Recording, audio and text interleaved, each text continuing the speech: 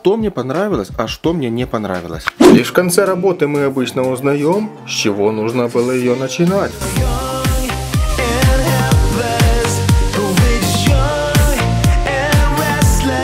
Друзья, всем огромный привет! Вы на канале Обзор электроинструментов и с вами Николай Дотошный. И сегодня на обзоре у меня ленточная шлифмашина от торговой марки Techman, модель TBT 1100.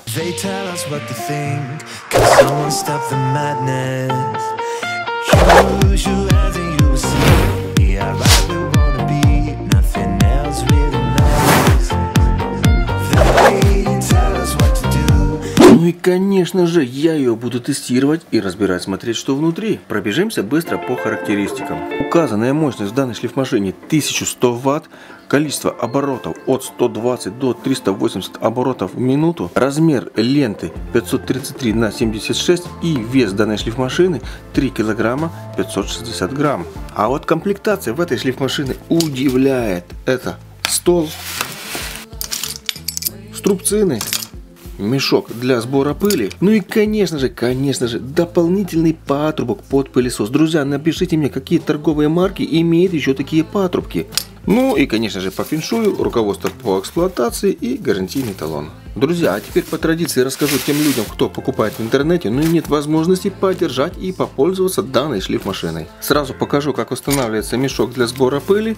Есть специальные направляющие, также на самом мешочке есть направляющие. Раз, и вауля, все, мешок стоит. Точно так же адаптер под пылесос. Многие пользователи жалеются, что вот шлифмашины выпускают под мешки, а нет адаптера под пылесос. Вот, пожалуйста, вам адаптер под пылесос. Основная рукоять в этой шлифмашине имеет в верхней части прорезиненный корпус. Дополнительная рукоять сделана и из пластика, но эту рукоять можно регулировать. Отводится такой рычаг и э, рукоять выставляете под нужным вам углом. И эта рукоять имеет очень-очень много положений. Также в этой шлифмашине есть регулятор оборотов. Регулятор имеет 6 положений и все положения с четкой фиксацией. Очень понравилось, что регулятор прям под рукой, если вы работаете, и не составляет никакого труда дотянуться до регулятора большим пальцем и выставить обороты. Сама по себе клавиша, как видите, широкая и имеет возможность фиксации данной шлифмашины. Сам по себе механизм натяжения ленты сделан из металла, но имеет пластиковый рычаг. Вот этот рычаг, который я сейчас откидываю, сделан из пластика.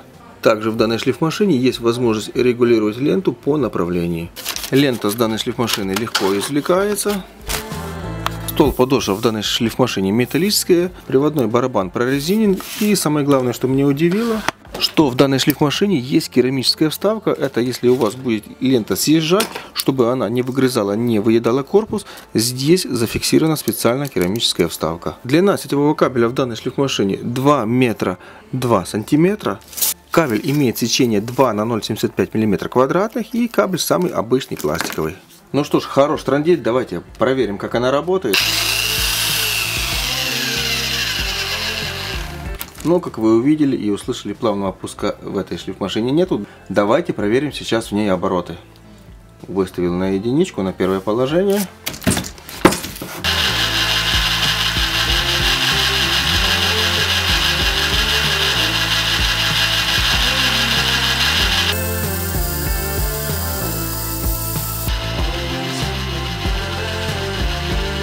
Так, сейчас выставлю третье положение, а потом максимально. Как вы увидели, действительно на первом положении есть 120 оборотов.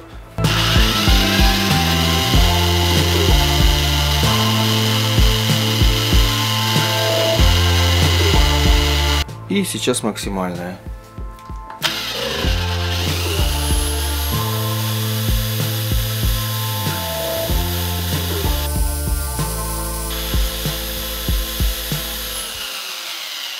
Ну, как видите, здесь, наверное, какая-то ошибка написана. На самом деле обороты здесь больше, потому что я даже удивился, как может быть 380 на ленте. Да, это там второе или третье положение. Понятно, что это даже хорошо, что здесь обороты больше. Так, давайте теперь попробуем, можно ли вообще работать на 120 оборотов. Когда лента на 120 оборотов, можно ли вообще работать по дереву. Вот я сейчас выставил минимальные обороты, взял заготовку.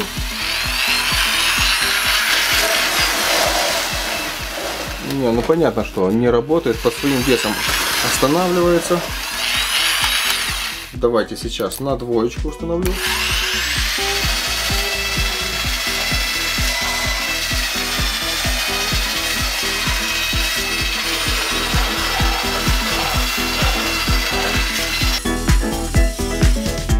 Вот уже на двоечке что-то минимальное шлифануть, почистить, без проблем на двоечке работает, если не давить.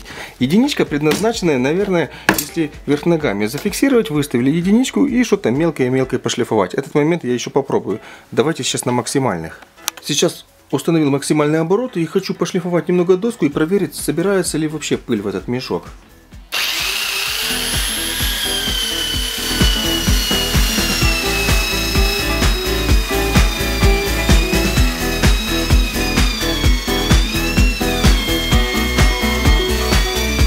Но случилось то, что случилось. Порвалась лента из-за того, что я сильно давил. И как видите, что происходит. Лента рвется. Конечно, большой-большой минус, что одна лента. Хотелось бы видеть две, три. И сейчас посмотрим. Или мешочек пособирал пыль. Та-дань! Как видите, мешочек обалденно просто собирает пыли. И здесь в гараже абсолютно нет никакой пыли. Я даже работал без респиратора. То есть, если вы шлифуете более крупную пыль, оно собирает. Понятно, что мелкую и мелкую оно не собирает. Но более крупная пыль собирается без каких-либо э, проблем. Стол на эту шлифмашину фиксируется очень легко. Видите, с двух сторон на столе есть специальные зацепы. И здесь есть канавки под углом. В задней части стола есть винт, и вы этим винтом регулируете этот стол. То есть по этим канавкам он спускается ниже, либо поднимается выше. И тем самым вы регулируете область шлифования. Также, друзья, скажу про струбцины. Они идут полностью-полностью металлические, только барашек сделан из пластика. Друзья, вот так вот выглядит зафиксированная шлифмашина к столу. И фиксируется она надежно и неподвижно. Реально круто фиксируется. Ну что ж, а теперь поехали разбирать. Чтобы добраться до ремня, нужно отклеить этикетку, открутить один винт и вот, пожалуйста, э, добрались до ремня. Ремень идет качественный от торговой марки Райчинг и маркировка ремня 102XL 031. Ну, тут понятно, приводной вал и вал, который крутит резиновый барабан, полностью сделаны из металла, а точнее из алюминия. Погнали дальше. С обратной стороны просто накладка, ничего нет. Друзья, отсоединил я пластиковые рукояти. Как видите, здесь есть четкие-четкие ребра для фиксации этой самой рукояти и в разные положения. К щеткам добраться тоже не составляет никакого труда. Здесь с этой стороны где с одной стороны есть отверстие под щетки и с другой стороны также есть пробка под щетки. Щетки здесь стоят обычные, размер их составляет 6 на 9,5 мм. Ну что ж, а мы погнали дальше.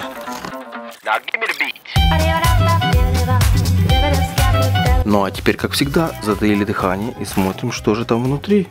Ну, мне как мастеру не особо-то нравится момент, чтобы добраться до кнопки, нужно, блин, разобрать половину шлифмашины.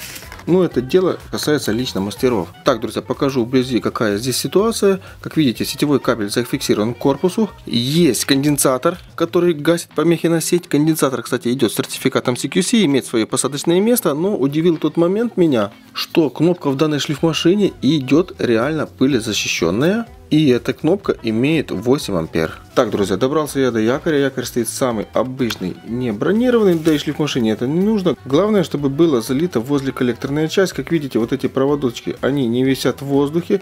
Бывает такое иногда, что разбираешь инструмент, а здесь возле коллекторная часть не пролачена, когда проводки висят в воздухе, от центробежной силы они раздуваются и тем самым теряют баланс и якорь, и также могут перебиваться проводки. Ну, как видите, витки якоря пролачены, ну, претензий как к шлифмашине нет.